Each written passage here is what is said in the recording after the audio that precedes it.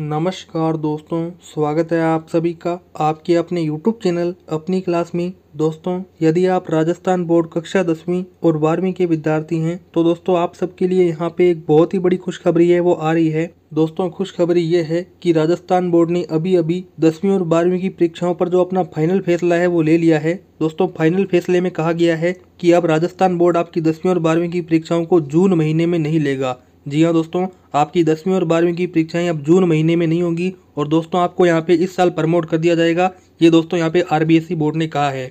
दोस्तों तो इस प्रकार से आपकी जो दसवीं और बारहवीं की परीक्षाओं को लेकर जो टेंशन थी, वो अब खत्म हो चुकी है। मुझे पता है कि आप पहले तनाव में थे कि अब पढ़ाई करें या ना करें, हमारी पढ़ाई हो नहीं पा रही है तो इसलिए बच्चों को प्रमोट करना चाहिए। दोस्तों तो यहाँ पर राजस्थान सरकार ने आपकी बात को मान लिया है और आपको यहाँ पे इस साल बिना परीक्षा यही पास कर दिया जाएगा। तो आप देख सकते हैं, राजस्थान पत्रिका अखबार में खबर आई हुई है कि सात जून से क्लास शुरू होना मुश्किल है। यानी कि दोस्तों, जो सात जून से राजस्थान के अंदर कक्षा एक से बारहवीं तक की स्कूल खुलनी थी, वो दोस्तों, अब स्कूलें खुलना मुश्किल है क्योंकि दोस्तों, कोरोना की तीसरी लहर है, वो जल्दी आने वाली है और साथ ही एक और महामारी आ चुकी है, ब्लैक फंगस नाम से। तो इस प्रकार से दोस्तों, सात जून से राजस्थान के अंदर स्कूल हैं, वो नहीं खुलेंगे।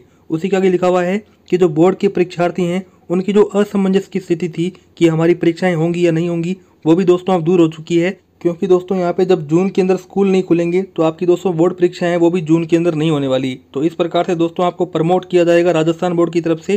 तो आप देख सकते हैं, गर्मी की छुट्टियाँ हैं, वो छः जून तक है, लेकिन कोविड का खतरा अभी भी बरकरार है। तो इसलिए दोस्तों, ना तो आपकी जून के अंदर स्कूलें खुलेगी और ना ही आपकी जून में बोर्ड परीक्षाएँ होंगी। दोस्तों, स्कूल न खुलने की वजह क्या है? इसकी वजह है कोविड का खतरा और इसी के साथ में दोस्तों, कोविड की जो तीसरी लहर है, उसकी भी जल्द आने की संभावना है। ऐसे में नया सेशन भी अब ऑनलाइन कक्षाओं के सहारे चलेगा और दोस्तों, यहाँ पे जो आपकी बोर्ड परीक्षाएँ हैं, उनमें भी दोस्तों बहुत ज़्यादा देरी हो रही है। आपको यहाँ पे अगला सेशन है, वो भी शुरू करना है। आपको अगली कक्षा की पढ़ाई है, वो भी शुरू करनी है।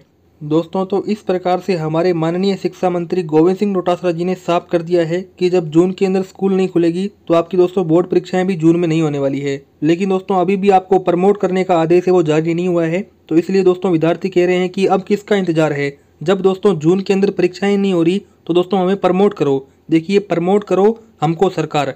यानी कि दोस्तों यहाँ पे सभी विद्यार्थी शिक्षा मंत्री जी को कह रहे हैं कि जब जून के अंदर बोर्ड परीक्षाएँ नहीं होंगी तो हमें जल्दी से जल्दी प्रमोट क्यों नहीं कर दिया जाता? ताकि दोस्तों हम अगली कक्षा की पढ़ाई है वो शुरू कर दें। तो आप देख सकते हैं, बिना परीक्षा पास करने की मांग है, वो अब ज़ोर पकड़ रही है। तो देखिए यहाँ पे जो हमारे शिक्षा मंत्री हैं, वासुदेव देवनानी, जो कि पहले थे बीजेपी सरकार में तो उन्होंने दोस्तों शिक्षा मंत्री जी को पत्र है, वो भी लिखा है। उन्होंने कहा है कि दसवीं बोर्ड के विद्यार्थी हैं, इनको बिना परीक्षा लिए ही पास कर दिया जाए। ठीक है दोस्तों, ये उनकी यहाँ पे शिक्षा मंत्री जी को मांग है। आप देख सकते हैं, उन्होंने कहा है कि जिस प्रकार से सीबीएसई ने दसवीं के विद्यार्थियों को प्रमोट किया है, उसी की तर्ज पर यहाँ पे राजस्थान बोर्ड है, वो भी फैसला ले दोस्तों तो अब मैं आपको बताता हूँ कि जो राजस्थान बोर्ड के अध्यक्ष हैं, डॉक्टर डीपी जारोली जी, उन्होंने दोस्तों दसवीं और बारहवीं की परीक्षाओं को लेकर क्या कुछ कहा है? तो आप देख सकते हैं, इसमें लिखा हुआ है कि पिछले दिनों बोर्ड अध्यक्ष डॉक्टर डीपी जारोली जी ने स्पष्ट कहा था कि वर्तमान में सरकार की पहली प्राथमिकता क्या है? कोविड नियंत्रण है। यानी कि दोस्तों, विद्यार्थियों की जान बचाना हमारी पहली प्राथमिकता है। यदि विद्यार्थी नहीं रहेंगे तो उनकी परीक्षाओं का हम क्या करेंगे? ऐसे में दोस्तों, परीक्षाओं को लेकर फ़िलहाल वह कुछ कहने की स्थिति में नहीं है।